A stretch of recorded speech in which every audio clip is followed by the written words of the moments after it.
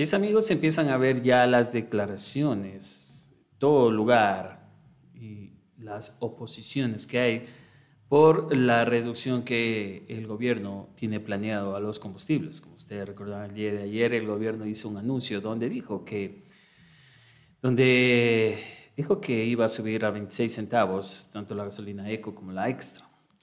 Y a la vez manifestó de que esto no era nada malo, que esto más bien era para proteger, para proteger a la economía del país y para proteger a los consumidores.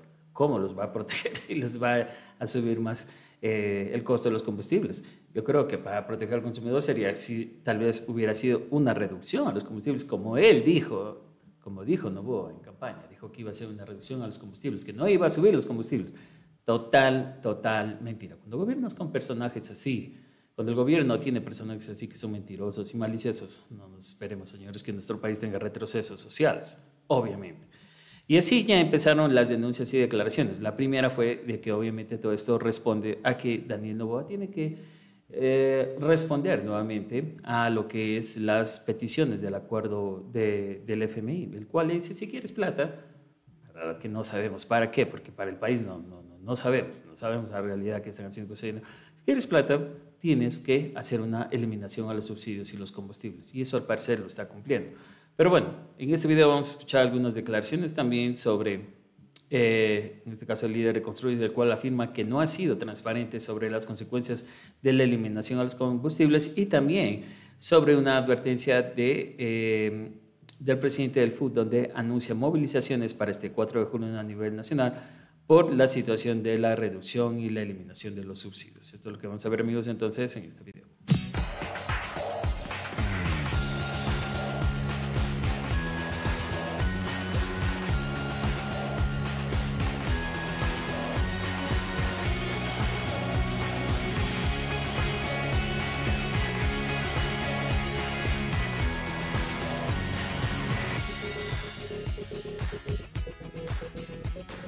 Hola, amigos, un saludo y bienvenidos nuevamente a su espacio Región de Warnes. Bueno, antes de nada escuchemos las declaraciones de Gisela. No es casual lo que estamos viviendo, ni siquiera en los términos en los que los ministros se pronuncian públicamente.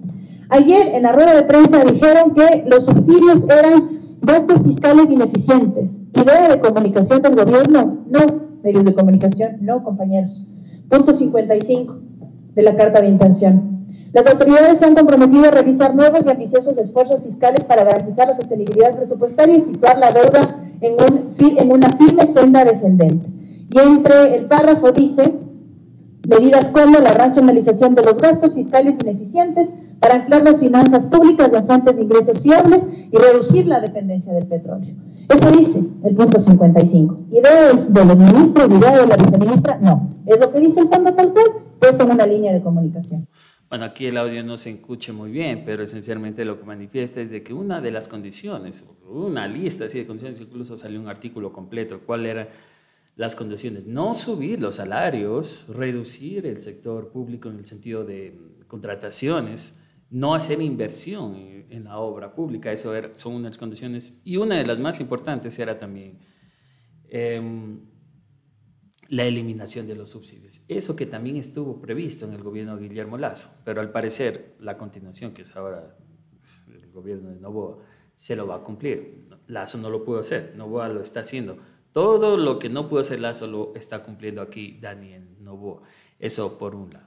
Ante eso también, eh, Camilo Salinas, líder de la bancada de Construye, afirma que el gobierno no ha sido transparente con la, sobre las consecuencias de la eliminación de los subsidios a los combustibles no sabemos cuál va a ser el mecanismo y a dónde destinará la inversión. Es que eso no sabemos. Eso es lo que es más preocupante, yo creo, al final del día, de que el gobierno pasa diciendo, es más dinero para el país, más dinero para el país, pero siguen las instituciones del Estado sin, sin, mejorar. O sea, la salud, la, inseguridad, la educación sigue igual. Entonces, ¿a dónde se está yendo el dinero? Con Lazo, por lo menos sabíamos que se, se las estaban guardando a las reservas internacionales. Acá no sabemos en qué.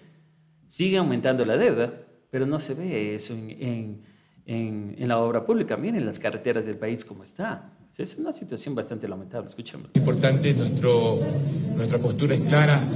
Hemos dicho permanentemente que todos los aumentos de impuestos y lo que el gobierno nacional ahora ha decidido, la eliminación del subsidio, si bien es cierto es necesario, principalmente si es que se invierte en el tema de seguridad. No hemos visto eso, no está clara la postura del incremento de tres puntos del impuesto al IVA.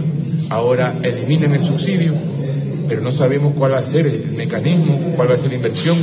Eh, estamos hablando que eliminar eh, el subsidio eh, se va a ahorrar para el país cerca de dos mil millones o más a nivel en todo el año, pero no nos da información correspondiente el gobierno nacional cuál va a ser la inversión de esto. Es también necesario, decía el gobierno nacional, que exista una focalización responsable y que hablen con todos los eh, diferentes eh, medios de transporte, no solamente taxistas, eh, carga pesada, transporte público, también existen lo que son las modalidades de tris y motero, los agricultores en mi provincia, el 60% de nuestros sectores rural, ¿qué va a pasar con ellos? La focalización tiene que llegar a todos los sectores, la parte acuícola, es decir, también la parte no solamente de la región costa de manejamos la parte agrícola, sino la acuícola, es decir, Santa Elena, Esmeralda, Manaví, ellos también usan lo que son los diferentes tipos de modalidades de lo que es combustible. Es necesario que llegue también la focalización. Bueno, como ustedes lo escuchan ahí a Carlos Salinas, ¿dónde va a ir, para qué va a ser utilizado el dinero de estos, de estos subsidios que dice que se va a ahorrar el gobierno como 2 mil millones de dólares? ¿En qué? ok, lo vamos a utilizar en educación y eso. Por eso es muy importante, como incluso eh, estaban proponiendo muchas, algunas de las bancadas, especialmente la Revolución Ciudadana, de que van a fiscalizar realmente el dinero que está llegando el FMI y también de lo que se están ahorrando para ver si realmente lo van a invertir, porque eso es una total mentira, que al final del día dicen, sí, es para mejorar la educación, salud, la seguridad, pero no pasa nada. Entonces, ¿qué están haciendo con el dinero? ¿Por dónde se está filtrando ese dinero? Pero bueno, ante eso también ya hubieron advertencias también del FUD, el presidente de la FUD, el cual anuncia movilizaciones para el 4 de julio a nivel nacional al rechazo de las medidas económicas tomadas por el presidente Daniel Novoa, concernientes sobre todo al tema de los subsidios y combustibles. Bueno, pues la gente, pues, ¿a quién le va a gustar? No? ¿Quién le va a gustar? Pero bueno, muchos de estos personajes también votaron por Novoa Espero que les haya quedado la, la, situación bien clara y no voten en el siguiente periodo por resentimiento, por odio, porque si no, al contrario, van a continuar con lo mismo, y lo mismo haciendo marchas que al final del día no va, tal vez no puedan ayudar a mucho, pero no tenemos que estar en este estado si votamos realmente por, por, por políticos que sí han hecho que sí han hecho algo por nuestro país, como la Revolución Ciudadana. Unitario de Trabajadores. Las organizaciones sociales convoca a una gran jornada de movilización para el 4 de julio en todo el país. Queremos frente a eso anunciarle al país que venimos conversando con distintas organizaciones sociales, con el movimiento indígena y que estamos ya en actividades, en recorridos en el país para obviamente exigirle al gobierno que vote abajo este nuevo paquetazo económico en contra de los ecuatorianos. Muchas gracias. Unitario de trabajadores. Las organizaciones.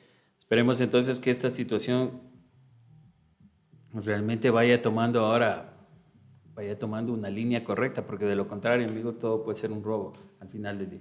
Ok, amigos, este es el dato que tenemos para ustedes. No se olviden de suscribirse y nos vemos en la próxima. Saludos.